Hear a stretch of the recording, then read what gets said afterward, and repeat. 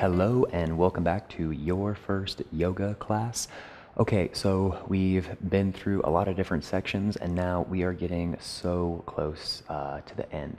Next, we want to look at our lower back strengthening. Um, I just want to say real quick, thank you for being here. If you have not already hit the subscribe button or given this video a like, um, please, I appreciate it so much. But let's go ahead and lay on our stomachs and do some of our uh, low back strengthening.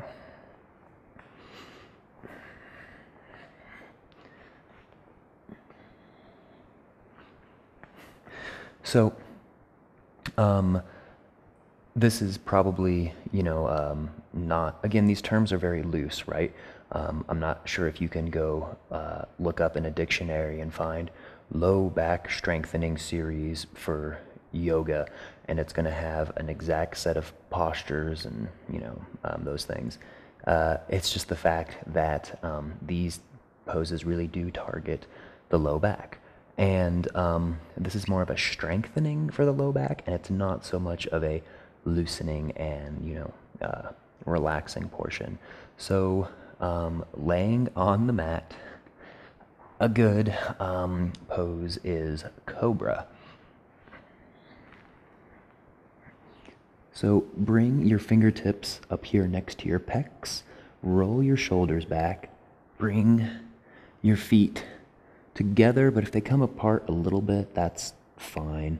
Um, they'll naturally actually separate just a little bit, which is which is okay.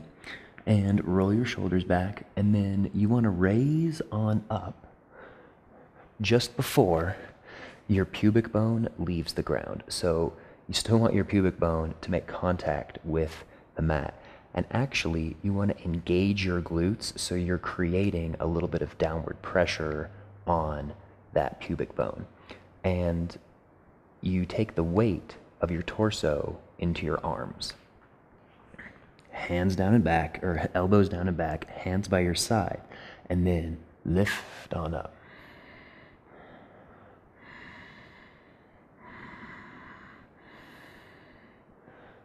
and on down. So that is our cobra. You'll also see another posture called baby cobra, where you bring your palms off of the mat. So you're actually only lifting up about this much, and the more you breathe, the higher you can lift up.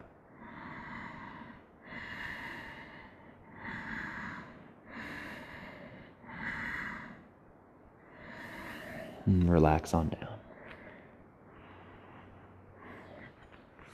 So that's a cobra and baby cobra. Um, and then let's look at um, uh, full Locust. So um, you bring your hands out like this. And it's kind of also called Superman pose because you fly. So you relax everything down, exhale all of your air, and then inhale, come on up. Superman pose. And maybe if you're flying and you need to dodge a cloud or two, that's cool. But just keep breathing, keep lifting on up. And release. On down.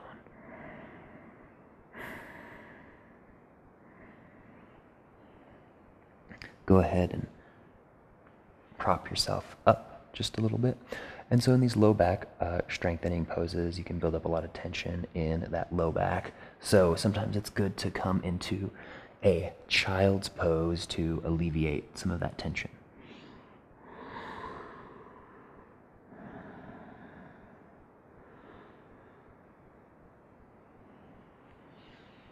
And one final posture we'll do is floor bow. Bend your knees, grab back for your ankles. And if you can't grab back for your ankles, you can use a strap, uh, a towel, you know, kind of whatever you have available to help you out. Roll your shoulders back and gently kick into those legs. Stay right here, and then you really kick and raise on up into your floor bow.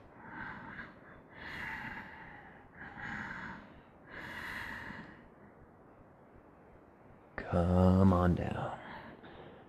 Release and push it back into your child's pose.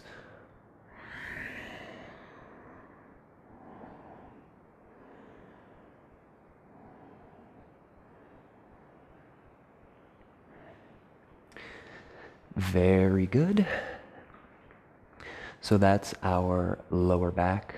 And um, again, wow, just thank you for being here and coming along uh, this journey with me.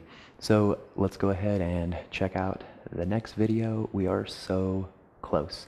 Pre-Shavasana series, and then after that, Shavasana, and then our class. So we're, we're making great headway. Thanks for being here, and I will see you in the next video.